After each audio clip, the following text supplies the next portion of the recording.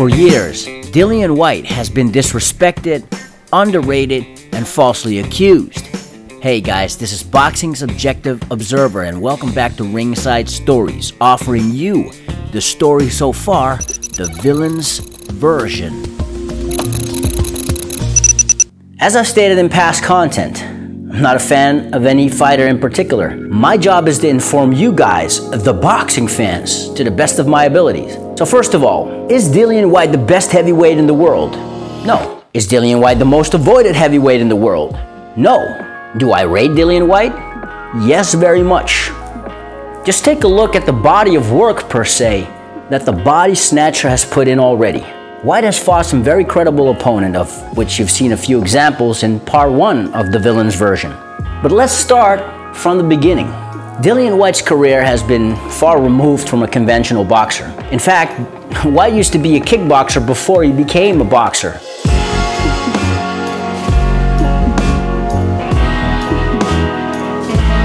When people talk about the short amateur careers of both Deontay Wilder and Anthony Joshua, you'll still see some sort of quote unquote natural progression. For instance, Wilder was a bronze medalist at the 2008 Olympics. AJ went even further, winning gold at the London Olympics in 2012, a year after finishing second at the highly touted World Amateur Championships in Azerbaijan. Both Wilder and Joshua ended their amateur careers under 50 fights, which is a short-lived amateur career, conventionally speaking. Well, Dillian Whyte had an even shorter amateur career. As mentioned, Whyte was a kickboxer and had a dispute with the Amateur Boxing Association of England, or ABA. And that was part of the reason why Whyte chose to become a professional boxer in 2011, with an amateur record of just six fights with six wins, including one win over later rival Anthony Joshua. And it wasn't as if Whyte had a head start over his future rivals either. Take Tyson Fury, for example. When Dillian Whyte had his first pro fight in May of 2011, Fury was about to face Dereck Chisora for the British and Commonwealth titles. That was Tyson Fury's 15th professional fight. And as mentioned in part 2 of the villain's version, Dillian Whyte was suspended for abusing an illegal substance which kept the body snatcher out of the ring for two years. So by no means did Dillian Whyte have it easy in the early stages of his boxing career. Did not have a long-winded amateur career, nor the experience that Joshua, Wilder, and Fury had. You might say the body snatcher is still pretty much learning on the job. Now as a pro, Whyte fought two future or former champions, and is about to face the third in Alexander Povetkin. Dillian Whyte fought Anthony Joshua when he was just an undefeated prospect, which is proof of Dillian Whyte's belief in himself. Although he lost that fight, the body snatcher gave the undefeated Olympic gold medalist some problems despite not being at 100%. Eddie and Joshua knew, you know I mean? Even Eddie Hearn, I spoke to him, he said, listen, we knew you had problems with your shoulder anyway. But um, it, it, was common knowledge I had problems with my shoulder um, from from before from a Fort Custer, Brian Minto, you know what I mean. But still believe I had enough to beat him, and I almost I almost beat him, you know what I mean. And it was a 50-50 fight up until I got exhausted and my shoulder went and I got caught, you know what I mean. But that's heavyweight boxing. That was Whyte answering a question from a reporter not using his injury as an excuse because after the KO loss against Joshua, these were Whyte's words. Yeah, I made a mistake. I got hit with an uppercut, uh, and that was it. You know, you know, one, two fights, I'll be back. I'm not gonna come back and fight some bum. You know, what I mean, I come back and have a decent fight, just to just shake, shake a few things off, and then get back, get back on the horse and ride the hell out of it. And so Whyte did bounce back in 2016, winning four out of four fights, including then undefeated Dave Allen, and a crowd-pleasing fight with Dereck Delboy Chisora by the end of 2016. Note, I personally thought Chisora nicked it but it was a close and dramatic fight, one of my favorites in all of 2016. Few key takeaways from that Dereck Chisora 1 fight. 1. Chisora proved that as long as he is motivated, he can still be a dangerous fighter. 2. That win over Chisora in December of 2016 was a WBC title eliminator. 3. Even with the losses to Whyte, Chisora is still a credible opponent. As of the making of today's episode, Dereck Chisora is ranked of the WBA IBF, and WBO. Now to be fair, the body snatcher hasn't taken all offers sent his way.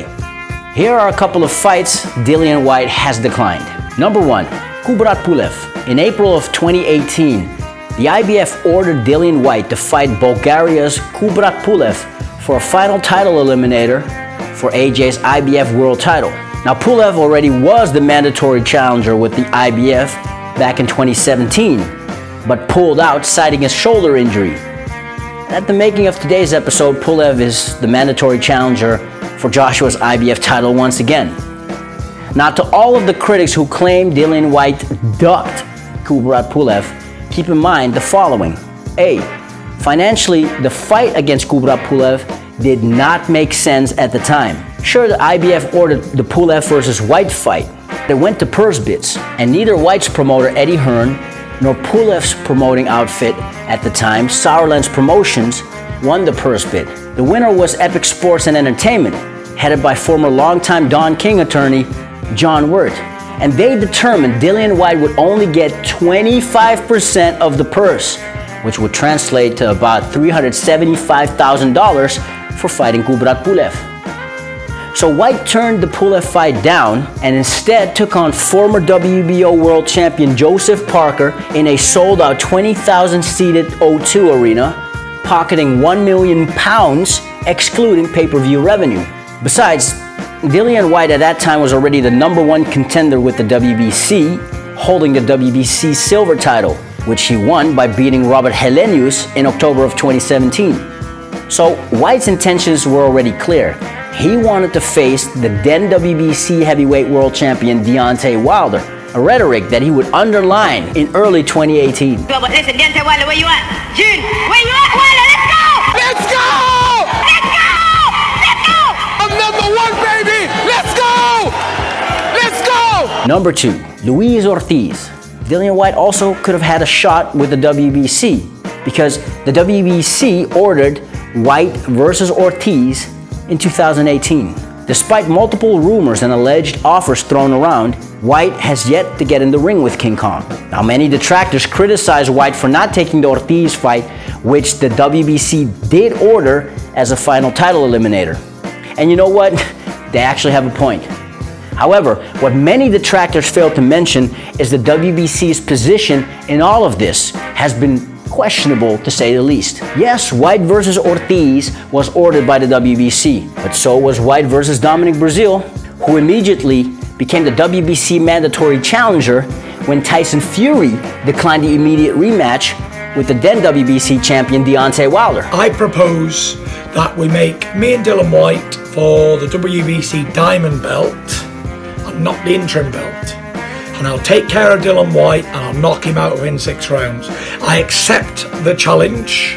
Thank you very much. I fight Dylan Whyte every day of the week and twice on a Sunday, WBC. Make it for the diamond belt, not the interim version, and you got a deal. Let's get it on! Yes, and the WBC also ordered that Fury versus Whyte fight as a final title eliminator. Anyway, what final title eliminator has Dominic Breazeale fought in order to become mandatory challenger. Most people might not remember this, but Dominic Breazeale was only the second mandatory challenger Deontay Wilder faced during his reign as WBC champion. Wilder took on his first mandatory challenger in November of 2017 when he rematched Bermane Stiverne, of whom Wilder got the title from a year and a half prior. Since the first fight, Stiverne had just one fight, which was an unimpressive win over journeyman Derric Rossy.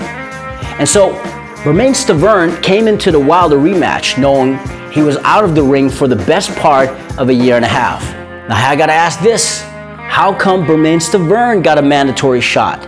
How come Stiverne did not have to face a final title eliminator to face Deontay Wilder. So yes, Dillian Whyte declined a final title eliminator against Luis Ortiz, yet at the same time done more than both Dominic Breazeale and Bermane Stiverne, who did not fight a final title eliminator.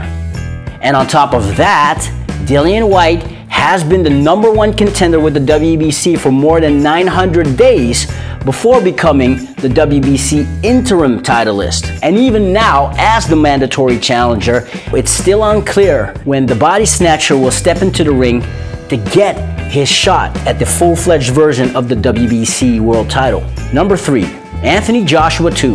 After beating Alexander Povetkin in September of 2018, Anthony Joshua is targeting Deontay Wilder for Undisputed April 13th, 2019. in Wembley, and when Team Wilder openly declined the undisputed fight, Joshua was desperately looking for a replacement. None of the top contenders accepted the AJ fight, including his rival Dillian Whyte. Now keep in mind, Dillian Whyte came off a great 2018 with three good performances, including a sellout at the O2 Arena as the headliner. Now White was offered an alleged 4 million pounds by Eddie Hearn, while Tyson Fury was offered 15 million. So if Whyte turned down the AJ2 fight to basically fill in Deontay Wilder's spot, I can see his point. Besides, at the start of 2019, boxing fans were demanding the undisputed title fight. Both Wilder and Joshua did not have any direct mandatory obligations as Tyson Fury did not opt for the immediate rematch with Wilder. So even when Wilder was about to face Dominic Breazeale, that fight could have been pushed to the side in order to make the undisputed fight with Anthony Joshua. So the Joshua versus Whyte rematch could have happened, but it simply wasn't a fight that needed to happen. Even without having faced a reigning champion as of yet, Dillian Whyte has delivered some great performances and has some very credible names on his resume.